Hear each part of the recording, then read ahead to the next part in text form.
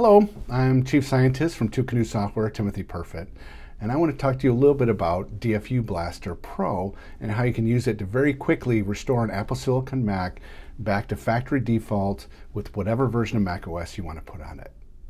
So before I jump in and kind of show you the software and kind of my hardware setup here, let me talk a little bit about what DFU mode is. So when Apple shipped their uh, Apple Silicon Macs, um, in addition to being able to boot to recovery and reinstall macOS, there's a what we call DFU mode. Then you could use a keyboard shortcut at startup to put it into DFU mode and then restore the macOS by plugging into another Mac. Um, we've made that process simpler um, to be able to quickly and easily do it from one to many Macs at the same time.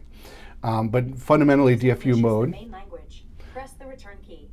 DFU mode is a way to restore Mac OS over the USB-C port on the DFU port on the Mac to uh, the factory default. Basically reset the Mac and install what version of Mac OS you want to on it. So let me go ahead and show you my setup. So I have two Macs here that are the target Macs. They're both um, at the, one's at the login screen, the other one's at the setup assistant. Doesn't matter what state they're in. So I'm gonna go ahead and just restore both of these Macs. And then I have an admin Mac. And this admin Mac is also an Apple Silicon Mac. And it will be, it's running DFU Blaster, which I'll show you. Here's DFU Blaster. Um, and it will allow us to easily put these machines into DFU mode and then restore them. And um, I'll go through four different scenarios to, to go about um, working to, to uh, get them restored. So let me bring in the overview for this as well as you can see my screen. So the first thing I'll do is I'll take a standard white USB-C uh, cable that comes for the power for the power brick on Mac on the Mac and plug it into the DFU port. The DFU port is the one that's closest to the hinge, uh, the USB-C port that's closest to the hinge or close to the Ethernet port if you have a desktop, like a Mac Mini or an iMac or something like that. So I'll plug in DFU port. And then this other one, I'll plug it into the DFU port on it, and that's the one that's close to the hinge here. And instead of having to do a keyboard shortcut, I'm just going to click on the DFU mode button. So I click on DFU mode button, and you can see it automatically put the um, Mac into DFU mode. Um, and it now appears on this list at the bottom where it shows Mac 14, 2, and um, it's in DFU mode. So now I can restore this device. If I, um, uh, it, since it's in DFU mode and I, um, I have Apple Configurator installed here, I can click on the Apple Configurator button and it will open up Apple Configurator and I just verified it's in DFU mode. Don't need to open up Apple Configurator because it uses the command line tool underneath to be able to restore to it. So I would just click on restore and it would restore the most recent version of macOS. But let's not stop there. Oh no. Let's look at the options. So if we click on options, we can see that we have two different kind of really important features. The first one is remove Apple Configurator temporary cache before each restore.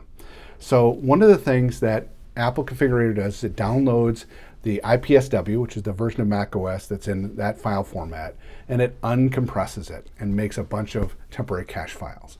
And those can be like 15 to 20 gigabytes per machine you're restoring. And so those can tend to fill up your drive. And so we can automatically remove those before each restore session. Um, and you can see on the lower left-hand corner of the screen down here, um, where it has free space, it tells you how much free space is on the startup disk. So you can keep track of that and make sure you're not running out of disk space. And then the second option, if we don't have that selected, the use custom IPSW, the most recent version of macOS will either be use the cache version if it's downloaded already, or download a fresh copy um, and use that. And once you, uh, if you want to restore a Mac OS that's a different version than the most recent one, you can go ahead and select it here. In fact, we put a button in for show cached IPSW files. And so um, these will collect over time as you do different Macs and there's different versions one. So you can go ahead and delete the one that's there and then just drag in. There you go. And so it'll now use that path um, to restore uh, using custom IPSW. So um, I would, I'm, i normally would just go click on restore here and start restoring it, but it'll take between five and 10 minutes and I don't want to waste your time doing that. So just imagine that that goes through as normal DFU mode.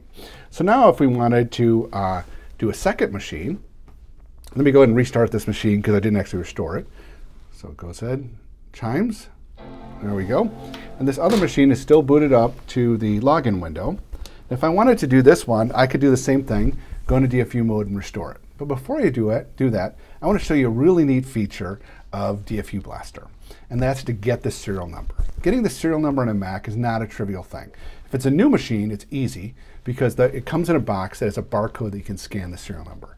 But if you don't have that box, if it's either you're use, uh, resetting a machine that's already been deployed or you don't have the original box, um, getting the serial number in machine readable format can be tricky, uh, especially if you don't know the, uh, the username and password of the, of the um, device to log into it, or um, you had to boot into recovery, and that can be um, and open up terminal and do those kind of things. We make it very easy. So I'll just hold the power button down till it turns off.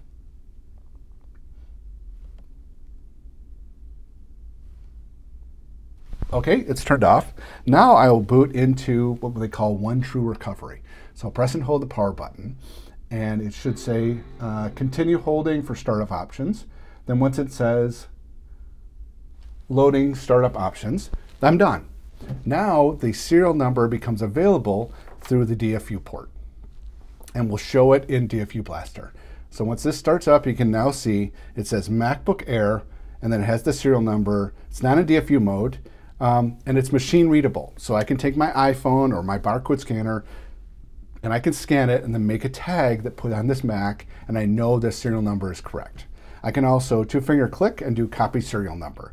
So it's a great and easy way to be able to get that serial number off when you ingest the machine.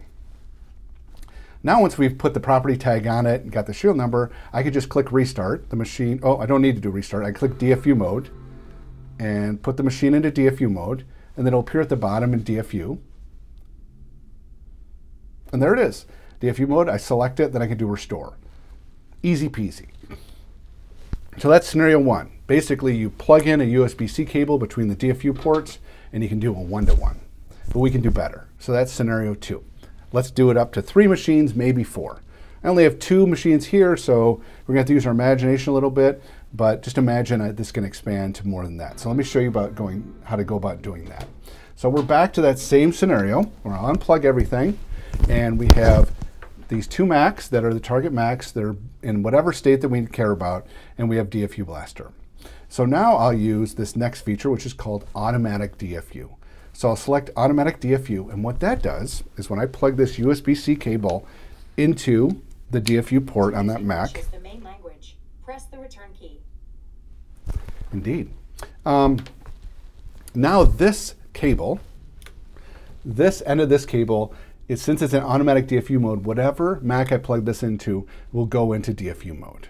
So it's a very powerful feature.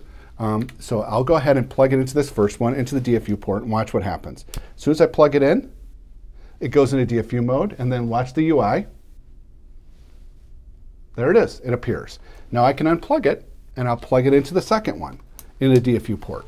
Then watch what happens. It goes into DFU mode and it appears in the UI. Now we're done. This one is already plugged in. We're ready to restore it. But now I can plug in, I'll take another USB-C cable. There we go, USB-C cable here. And I'll plug it into the side on this Mac, on any port on the admin Mac, and I'll plug it into this one into the DFU port of the second target Mac. And look what I see. I now have um, both the machines showing up in uh, ready for restore. So I can select both of them and then click restore and it will restore whatever version of macOS I've specified in options.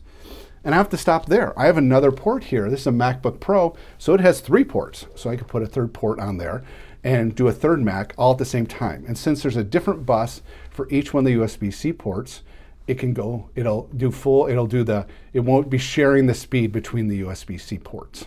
And some Macs have up to four uh, USB ports. So you can have four Macs at once. So it's a, a, kind of a wonderful thing to be able to do.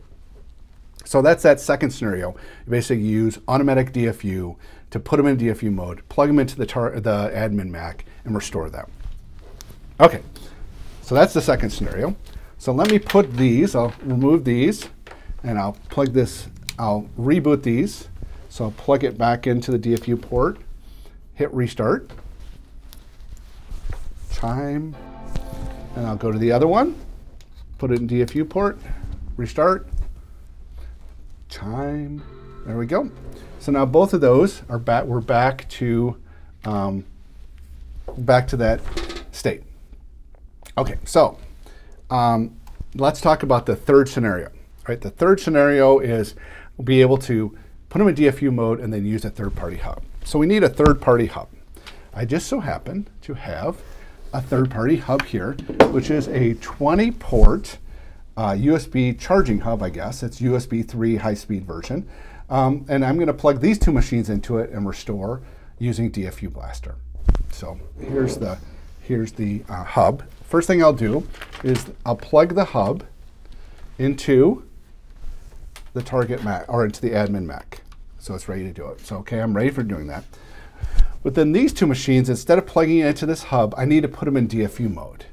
And you already know how to do that because I showed you. We'll turn on automatic DFU, take a USB-C cable here, plug it into the DFU port on the admin Mac, plug it into DFU port on the target Mac, wait a little bit, and you can see it appears in the UI. That's in DFU mode. Plug it into the second one.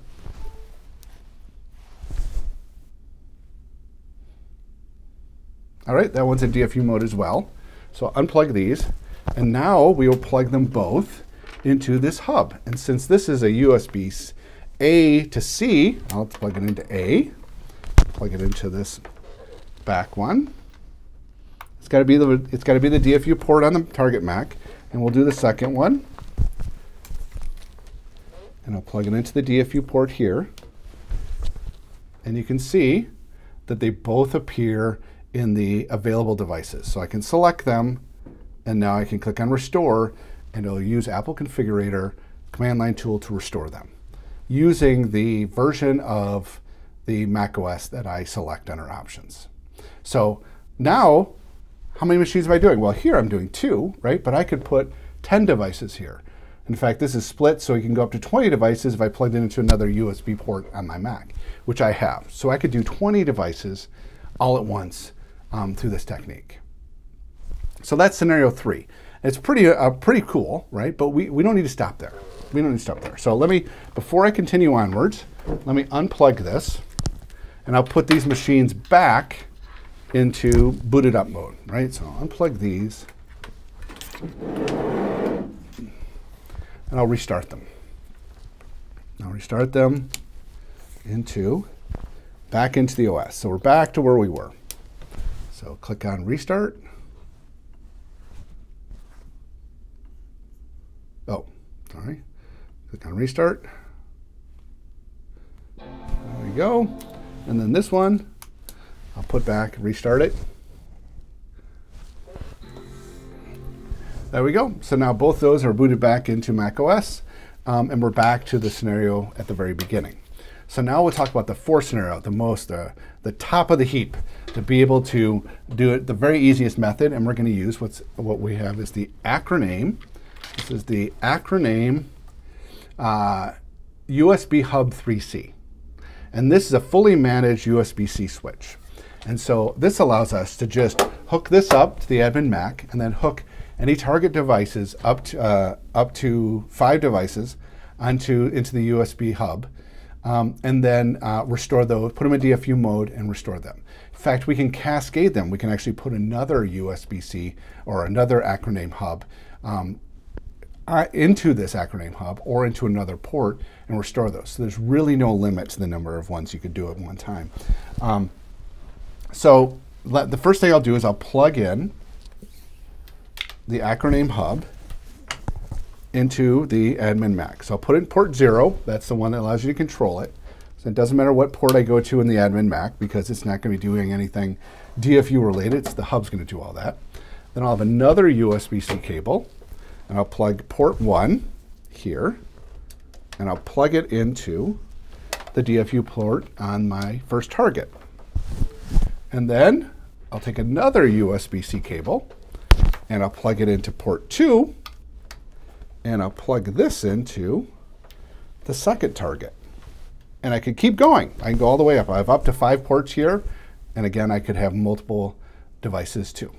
So in order to see those, I'll click on the button that says Show Acroname Hub Window. So I'll click on Show Acroname Hub window, and you can see that it has port 1 connected, yes. Port 2 connected, yes.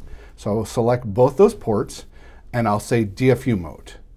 And what will happen is admin Mac will send a command to the hub to say, put those in DFU mode. So I'll go three, two, one, go. Do you see that? They went into DFU mode almost immediately. And then in the main interface, it'll use Apple Configurator to scan the bus to be able to find those in DFU mode and then show them and make them available for restore. There they are.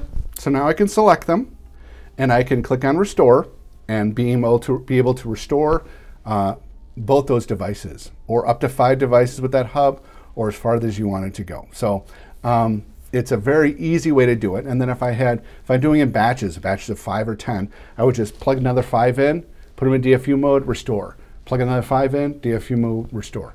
Very easy to do. So um, that's the Apple, uh, that's the Apple, uh, sorry, the uh, Acroname uh, hub to be able to do it, and that's a four scenario. So again, we have four different scenarios we can use with DFU Blaster. One that's just DFU mode, DFU port to DFU port puts it in DFU mode, restores it. Very simple, great ad hoc. You're doing one to one. You want to get a machine back up and running really fast. It's Apple Silicon. You don't care what's on it. You just want to be able to restore it. The second scenario is you want to start doing multiple, but you don't have a hub and you want to just use the available ports that are on that Mac. We can use automatic DFU to put all the machines into DFU mode, plug them into the ports on the Mac, and then restore. Very simple, very easy, and you can do whatever version of Mac OS you want. Third scenario is we use automatic DFU again, put all the target Macs in DFU mode, but then we plug them into a hub. So that means we're not just limited by the number of ports that are on the Mac, but as many ports that are available and the speed um, of that of the, um, the, the aggregate speed for the ones you want to do it. So um, you can plug them into that hub and then be able to restore them all at once. And then the fourth option, which is the one that's kind of the slickest and easiest, is you just take the admin machine, hook it up to an Acroname hub, and then you just plug any of the devices you want, put them in DFU mode programmatically, or just through a button, and restore them through um, uh, right from the DFU Blaster Pro. Thanks very much for watching. If you want to learn more about DFU Blaster Pro, please visit us at twoCanoes.com where you can download a trial um, as well as be able to read more about the features of DFU Blaster Pro. Thanks very much for watching.